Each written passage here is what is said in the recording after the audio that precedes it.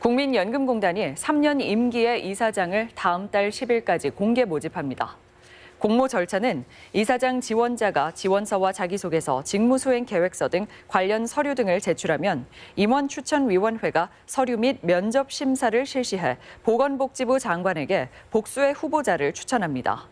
이어 보건복지부 장관은 임명권자인 대통령에게 임명 제청하면 대통령이 신임 이사장을 임명합니다.